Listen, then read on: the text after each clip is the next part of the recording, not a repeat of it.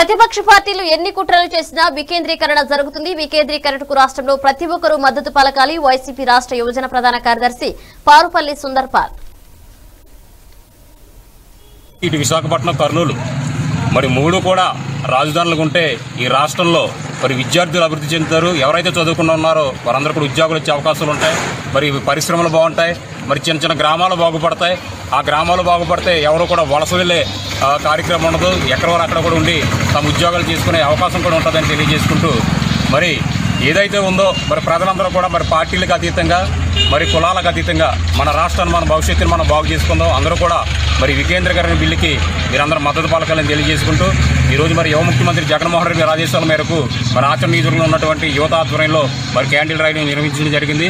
మరి అందరూ కూడా రాష్ట్రంలో ఎవరైతే ఉన్నారో ప్రతి తెలుగువాడు కూడా మరి దీనికి మద్దతు పలకాలని తెలియజేసుకుంటూ త్వరలోనే మరి కేంద్ర కార్యాలయం ఆదేశాల మేరకు